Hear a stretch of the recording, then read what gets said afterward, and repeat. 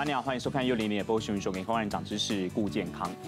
好，这个我们又要来聊聊这个话题，呃，有关不孕症了。好，其实呢，在前一阵子呢，大家看到有三千位试管婴儿，好，他们的家庭呢，大家团聚在一起，然后呢，排出一个呢，这个台湾五大洲的形状，好，创下今日世界纪录。这之前呢，一个蛮壮观的画面。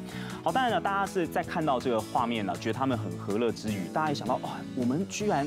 试管婴儿这么的多，那我们的国内啊，这个饱受一些不孕症所苦的夫妻也真的蛮多。之前我们知道有统计嘛，呃，据了解大概是每七对就一对有不孕症的这样的情况而需要就医。不过我们今天呢是从中医的角度来聊，我们请到这位中医师呢，他自己过去也曾经呢，呃，采用一些呢方式呢去养身体，呃呃，后来呢有非常可爱的一对宝贝。我们今天也请他来聊聊他当年的经验。好，请到的是我们胡心婷中医师来到现场，医师你好，主持人你好。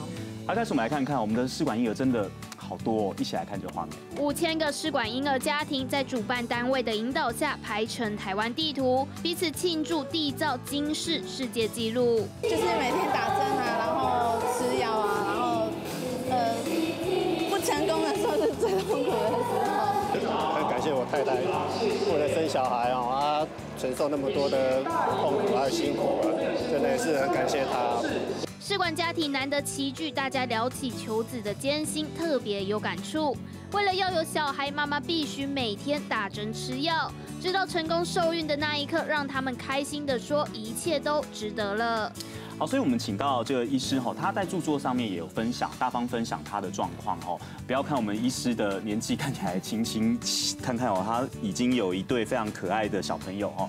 好，我们来看这个是他当年呃的状况。他说，其实当年您也有一些呃有关呃这个受孕上面的一些困扰嘛。对。那当时的情况大概怎么？是跟观众分享一下。学生时代都会喜欢。熬夜啊，就是很晚睡，然后就会发现，哎，为什么月经开始不是很正常来？然后去就医，发现说自己有多囊性卵巢的问题。那后来在国内很多嘛，对不起，打个岔。对，而且现代女生就很常见啊，因为大家。十二点以前睡的到底有几个？然后对啊，然后饮食我们又比较就是比较西化，那再加上你可能比较不运动，压力大的话，那多囊性卵巢的问题就真的很容易。可是医师您是中西医背景哎，所以连你的这生活习惯可能都没有。学生时代嘛，还在求学。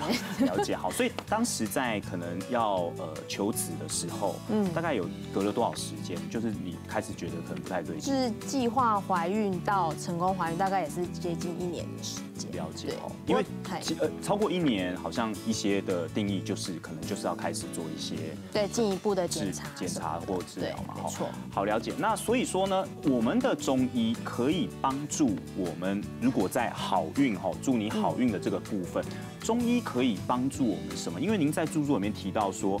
中医对女性的养卵和对男性的改善精虫能力，可能都可以提升。这部分帮我们解释一下好。主要就是中医在提肾的部分的话，它就是呃可以呃改善我们的生，它就指的是我们的生殖功能。比如说男性的睾丸啊，或者是性功能，那女性的话就是卵巢跟子宫的部分，都含在中医的肾的功能里面。所以呢，用中医的一些补肾的药材，或者是一些暖肾的方式，就可以改善我们女生卵子啊。卵巢、子宫的环境，或者是说像男性的精虫的活动力啊，或者是数量比较低下的一个问题。是对。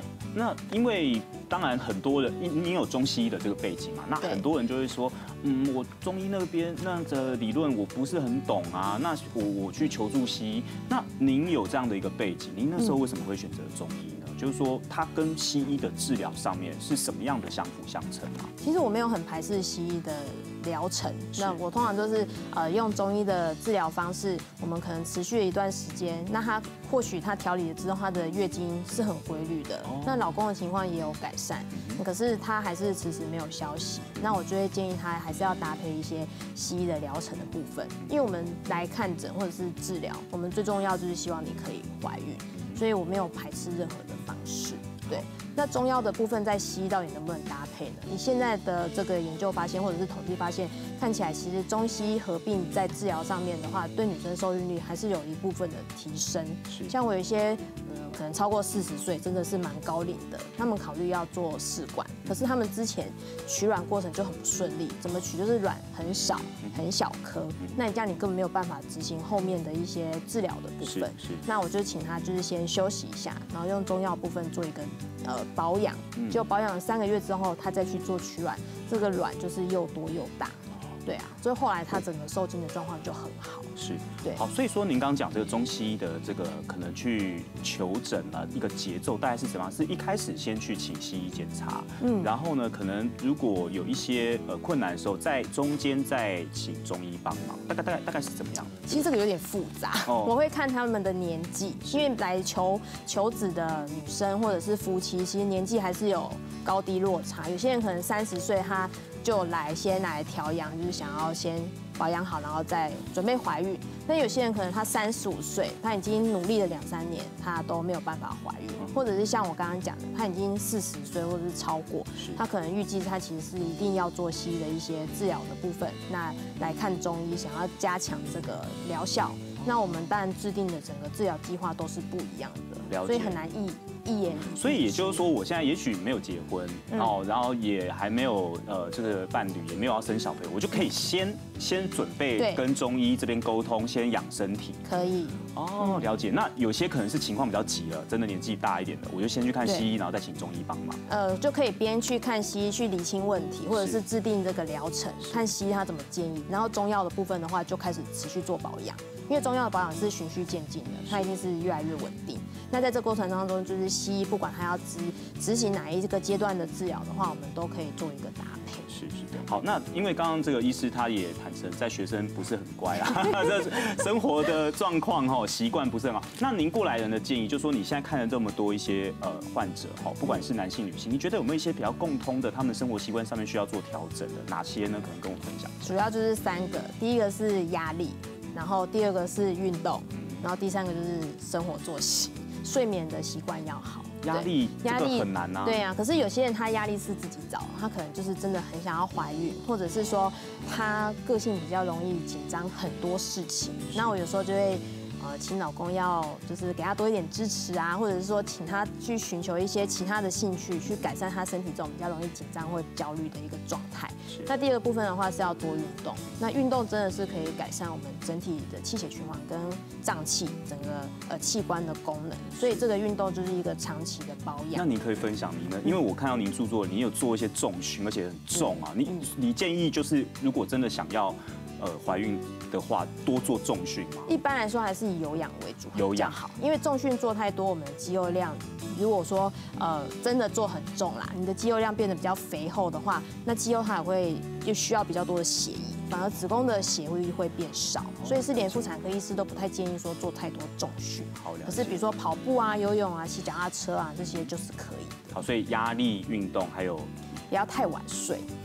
我因为你讲就就很 羞很心虚。没好吧，那我们标准给大家一个，就是说，以就中医的，我们知道听过很多的理论哈，就是说几点到几点可能是对什么内脏比较好睡眠的时间，那几点真的是建议不要再超过这个时间。我都会建议尽量在十一点以前睡。那一般来说讲十一点，大家一定会拖到十二点，所以就是十一点以前要 睡你这个是去参加婚宴的概念吗？就是也要提前时间。好，这重点就是希望能够十一点之后是肝胆经开始循这环的时候。是女生还是男生都一样就？人类都是人类都是这样对对对。那如果说肝胆经开始循环的时候，呃，也就是我们的经络就是一天开始初始的循环。如果说你在这时候进行休息的话，一些身体的内分泌或者是肝脏解毒的功能会比较好，这样子对于我们的呃整个脏器的呃改善或修复的状况会更好，当然就会助孕。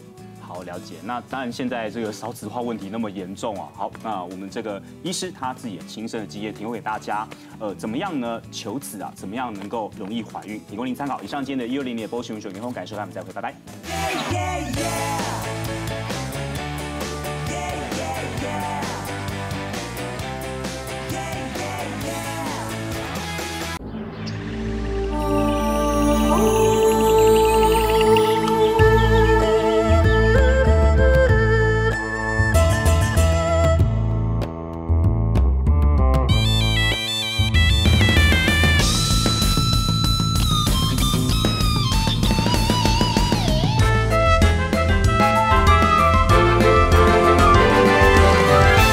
新花开二零一九台湾客家音乐节。